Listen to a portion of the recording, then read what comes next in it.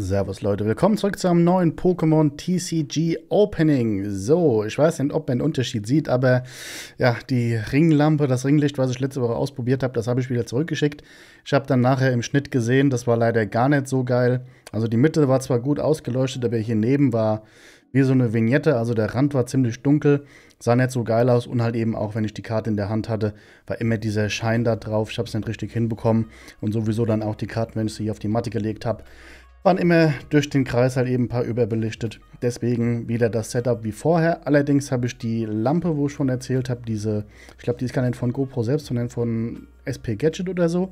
Auf jeden Fall, das ist so eine Lampe, die macht genauso hell wie so ein Autoscheinwerfer. Steht zumindest so in der Produktbeschreibung und passt halt eben eine GoPro oben drauf, äh, beziehungsweise auch unten dran. Äh, die habe ich jetzt mal anders positioniert. Die leuchteten jetzt nicht mehr so von der Seite, sondern strack von vorne. Jetzt ist sie zwar nicht mehr an meinem äh, Bildschirmhalter quasi festgeklemmt mit so einer Klemme, sondern die liegt jetzt nur auf dem Bildschirm. Aber ich meine, solange ich hier nicht fest auf dem Tisch hau, sollte die auch da oben bleiben und nicht runterfallen. Von daher, ich habe es ausprobiert. Ich glaube, es ist ein bisschen besser. Von daher, vielleicht ist ja jetzt das erstmal das Setup, wie man es dann belassen kann. So, ich habe mir eine Kleinigkeit überlegt. Und zwar ist ja bald Weihnachten. Genau, noch vier Wochen. Ähm, und wir stehen auch kurz vor dem 100. Opening. Genau, wir haben jetzt klar, also das hier dürfte jetzt das 97. TCG-Video auf dem Kanal sein. Kurz vor der 100, kleiner Meilenstein. Von daher habe ich mir was Besonderes überlegt. Und zwar, ähm, weil das kann ich auch eigentlich gleich erzählen, genau, mache ich gleich, dann haben wir eh ein Thema. Ähm, was wir heute aufmachen werden, ist eine Box, die ich noch nicht aufgemacht habe, die jetzt schon wieder ein bisschen länger draußen ist, aber eine sehr coole Box, wie ich finde. Und zwar habe ich ja heute einmal für euch die Glurak Premium Kollektion, beziehungsweise Glurak EX Premium Kollektion, weil hier ist als Promokarte ein Glurak EX drin. Dann nochmal Glutexo und Glumanda als Holo und ein paar äh, Kamasin und Purpur Sets. Ähm, Obsidian Flammen ist auf jeden Fall hier drin. Ich kenne leider die Booster Artworks nicht ganz genau. Deswegen kann ich dir gar nicht sagen, was hier hinten drin ist. Auf jeden Fall hier vorne ist Obsidian Flammen. Würde auch Sinn machen bei einem Glurak iX äh, Kartönchen hier, dass da auch Obsidian Flammen drin ist. Und hier hinten sind dann noch äh, Sleeves, müssten das sein. Aber das steht doch garantiert auch hier hinten drauf, was da drin ist. Wir schauen mal gerade. Eine geprägte holographische Promokarten mit Glurak EX, okay. Zwei Karten mit Glumanda und Glutexo. Sechs Booster Packs des Pokémon-Sammelkartenspiels. In dem Fall halt Gamsin Pupo-Ära. Ein magnetischer Kartenhalter mit Standfuß. Ah, das ist das Ding, okay. 65 Kartenhüllen mit Glurak als Terrakristall-Pokémon und eine Codekarte. Okidoki. Dann, genau, das hier hinten, das ist dieser Kartenaufsteller dann. So, ähm, ja, würde ich sagen, verschwenden wir gar nicht weiter Zeit. Reißen mal die Box auf, im wahrsten Sinne des Wortes reißen wir die mal auf. Das ist immer hier diese... Es gibt ja, gibt ja zwei verschiedene, zwei verschiedene Boxen. Einmal die, die von selbst aufgehen. Da natürlich ganz präsent die Celebrations-Boxen. Also die gehen wirklich von selbst neben einfach auf. Wenn du die lange im Schrank stehen hast, irgendwann ist die Box auf. Und halt eben hier diese richtig hart verklebten, die du eigentlich quasi über, die überhaupt nicht aufgehen wollen. Das sind so die zwei, zwei Arten, zwei Typen von Pokémon-Boxen. Da die drei Promokarten gucke ich gleich nach. Und dann haben wir hier jetzt den Inhalt. Also Obsidian Flamme, Obsidian Flammen, Obsidian Flammen Entwicklungen in Paldea und zweimal Karmesin und Purpur Base Set, alles klar. Das sind die Dinge, die wir heute aufmachen werden, die Booster. Dann haben wir einmal diesen Standfuß, der sieht ziemlich geil aus. Und ähm, von hier denen, die habe ich tatsächlich. Äh, Moment, hol ich mal gerade. Ja genau, ich habe es gefunden. Also das Ding hier, das ist ja von, äh, Moment, wo sie, genau hier. Das ist von Ultra Pro und ähm, das hier auch von Ultra Pro. Ich habe hier sogar, das, äh, das waren die, die ich gerade gesucht habe. Die sind auch von Ultra Pro. Das sind genau dieselben. Nur der Rotton ist ein bisschen anderer. Ne? Das hier ist ein bisschen heller als der Standard-Rotton. Davon habe ich auch ein paar. Und so habe ich da drin ganz viele Karten in meiner Vitrine stehen. Ne? So sieht das dann aus. Wobei das hier, das ist jetzt von Akero G, dieses, dieser Magnetic Card Holder. Das sind jetzt ähm, zum Beispiel, habe ich halt eben Base-Set-Karten, ne? Glumanda in Rot, Shiggy habe ich dann in Blau. Grün habe ich leider keins, deswegen habe ich Bisasam in Weiß. Aber ich habe zum Beispiel auch ganz viele Pikachu-Karten, zum Beispiel das Geburtstags-Pikachu, was wir aus Celebrations gezogen haben, oder Basic Pikachu, habe ich alle in diesen Kartenhaltern hier so in der Vitrine stehen. Ist ganz geil, ne? Äh, passt super da rein. Wie gesagt, das Ding ist auch von Ultra Pro. Das ist allerdings so reinge, reingestanzt. Ne, es ist aufge, aufgebracht. Geht nach außen.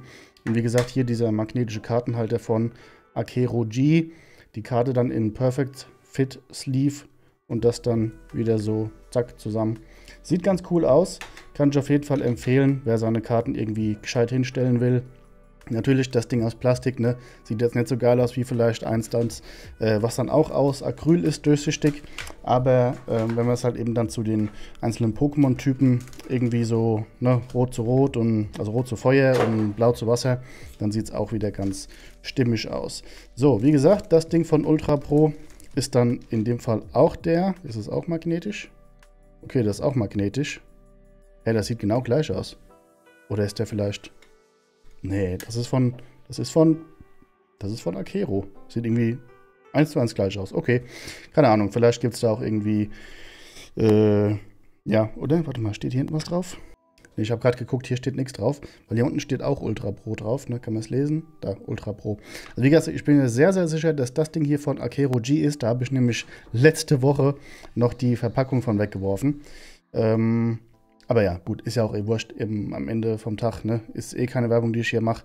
Äh, ich teile nur meine, meine Informationen mit euch. Von daher, ob ihr jetzt Ultra Pro kauft oder Akero G, das ist mir sowas von wurscht. Nur halt eben, falls ihr euch fragt, was ich habe. Also ich habe auch hier die Dinger von Ultra Pro und meine Magnetic äh, Card Sleeves hier, die sind von Akero G. So, jetzt aber genug darüber geredet. Gucken wir uns mal das Ding hier an. Sieht ganz geil aus. Oben mit allen Typen und auf der Rückseite, ja, dieses typische äh, Terra-Kristall-mäßige Gedöns halt eben und rot. Da passt doch schön gleich ein Glurak rein, finde ich. Dann haben wir hier noch die Sleeves, auch die Terra-Kristall Glurak. Hier ist nichts ultra spannendes, sind halt eben Sleeves. Und dann würde ich sagen, Packs haben wir auch äh, jetzt lang genug gesehen. Gucken wir mal nach den Promokarten. Da haben wir ja drei an der Zahl, wie schon da stand. Glurak EX, Glutexo und Glumanda. Mal gucken, wie die hier festgemacht sind. Mit einem Riesenschiffchen. Mit einem Riesenschiffchen. Und da ist auch eine Codekarte. Jetzt muss ich nur gucken, wie ich die am besten rausbekomme, ohne dass die mir zu arg auf die Matte fallen. So war das doch ganz okay, würde ich mal meinen. So, erstmal hier den Code natürlich. Und dann gehen wir sie der Reihe nach durch, nach Evolution. Beziehungsweise nicht Evolution, sondern nach äh, Digitation auch nicht. Wie sagt man denn? Entwicklung halt, ne? Entwicklung. Meine Güte. Alles klar. Gut. Hier haben wir dann ein wunderbares Glumanda. Leider vom Centering nicht so geil. Ich habe mir die Box rausgesucht, wo das äh, iX am besten gecentert war. Weil das halt, ich sag, sag mal jetzt mal ganz blöd, weil das die Karte ist, ne, wo es darum geht. Aber Klumanda, wie gesagt, vom Centering her leider nicht so optimal. Ansonsten gucken wir uns die Karte mal von hinten an, wie das da so ausschaut. Äh, wenn er den scharf stellen möchte, wobei geht einigermaßen. Kanten, Edges, Sieht ganz gut aus, wenn ich jetzt mal so, so sagen darf. Von daher Glumanda Holo schon mal eine äh, coole Karte. Moment, mir ist der Fokus verrutscht. Da ist er wieder. Also Glumanda als Holo auf jeden Fall schon mal eine coole Karte. Dann schauen wir uns Glutexo an. Glutexo auch aus OBF, Obsidian Flames. Das heißt, die Karten, die sind wieder schwierig vom Preis einzuschätzen ähm, weil es ist halt eben hier ein Ankommen, ne, aber trotzdem Holo. Das heißt, bei Card Market ist das dann immer ein bisschen blöd, da den Preis zu recherchieren, weil dann halt eben, du musst dann auf den Beschreibungstext achten, wo dann dahinter steht, Holo aus der Box. Ne? Wie gesagt, die Karte ist ganz normal gelistet dann halt eben unter dem Set Obsidian Flammen als Ankommen. Aber auch die sieht von hinten ganz gut aus. Auch schon mal nice, nice. Und dann kommt jetzt der große Boy, Charizard. Klurak EX aus der Klurak EX Premium Kollektion. Sehr geile Karte. Ist in dem Fall, also ist jetzt anders als die anderen beiden, keine Setkarte, sondern hier unten ist es Blackstar Promo. Ähm, das Glurak Full Art aus Obsidian Flammen guckt nach rechts und hat den Mund offen. Das ist der Unterschied. Ansonsten ist das einfach quasi nur gespiegelt. Und ja, wie gesagt, die Karte habe ich dann nach dem Centering ausgesucht. Ich habe drei Boxen davon gekauft. Eine jetzt hier zum Aufmachen, eine für in den Schrank stellen. Wenn ich irgendwann mal vielleicht ein eigenes riesiges äh, Gaming-Zimmer habe, habe ich vor, da alle Boxen in den Schrank zu stellen. Das ist so, aussieht wie in so einem riesen Kartenladen oder so. Deswegen kaufe ich immer eine Box mehr und die zweite Box, äh, beziehungsweise die dritte. Mal gucken, was ich damit mache. Ähm, ja, wie gesagt, schöne Karte. Geiler Holo-Effekt. Auch die schauen wir uns mal von hinten an. Aber auch die, oh, die ist von hinten aber schlecht gesendet. Eieiei. Links zu rechts, leck mich am Moka. Okay, äh, von vorne sah sie gut aus, von hinten leider dann doch nicht so. Aber scheiß drauf. So, Glurak EX. Die werde ich gleich sleeven und dann gehen wir mal in die Booster. So, noch nichts aufgemacht, aber schon drei coole Karten da liegen. Ähm, so kann es gehen. Okay, ähm, ich würde sagen, wir gehen der Reihe nach. Also fangen an mit Kamsin Purpur Base, dann den einen Booster von Entwicklung in Paldea und zum Schluss dann die drei Obsidian Flammen. Sodle. So schaut's aus. Würde ich sagen, gehen wir auch direkt rein. Ja, was ich eben schon angeschnitten habe, es geht ja jetzt so langsam auf Weihnachten drauf zu. Und ähm, ich habe vor, dann im Rahmen von Weihnachten, weil ja auch dann das 100 Opening Special quasi ansteht, auch ein paar Special Sachen aufzumachen. Und zwar will ich mich jetzt langsam steigern bis Weihnachten bzw. bis Silvester dann eigentlich der große Knall kommt. Fekuli in Reverse und Eisenrad EX Full Art. Okidoki. Das ist doch, finde ich, schon mal ein ganz geiler Hit aus der Box. Äh, ja, lässt sich sehen. Full Art auf jeden Fall aus Single Boostern quasi. Das ist nicht schlecht. Geht auf jeden Fall schlechter, sag ich mal so, ne? Äh, genau, wie gesagt, ich will mich dann immer ein bisschen steigern jetzt, so von den äh, Sachen, die ich aufmache, ne? Bis dann an Silvester am 31. beziehungsweise Silvester ist dann eigentlich, also am 29. kommt quasi das Silvester-Opening, das ist aber schon das 101. Bei 101, ne, ist ja auch äh, so quasi auf die nächsten 100. Ähm, von daher, ja, wie gesagt, an Weihnachten, oh, Barnett EX, der, also, das ist ja krass. Zwei Booster, zwei Hits. Das, äh, ja, nice. Das ist ja Real Talk schon mal mehr, als ich erwartet hätte. So, Entwicklung in Paldea. Um das dann mal zu Ende zu führen. Also, es wird jetzt äh, nächste Woche, beispielsweise kann ich schon mal spoilern, was es geben wird. Nächste Woche wird es geben Schimmernde Legende. Eine Box, die ich glaube ähm, auch schon zweimal aufgemacht habe. Also nichts Neues, aber Schimmernde Legende, mordsmäßig geiles Set viele Shinies drin und vor allem äh, die eine Secret Rare, das Mew Tube, ne? Jeder kennt's, das Mew, da in der Klonröhre hängt, die fehlt mir ja auch noch. Genau, das nächste Woche. Dann weiß ich noch nicht von der Reihenfolge. Es wird auf jeden Fall auch nochmal ein Eevee Heroes Opening geben, weil da habe ich ja gesehen, ich habe ja noch ein halbes Display. genau. Da hatte ich irgendwann mal hatte ich angefangen, dass ich nur noch halbe Displays aufgemacht habe, weil das Set schon so teuer wird. Und da habe ich noch ein halbes Display von. Und ähm, genau, das werden wir dann aufmachen.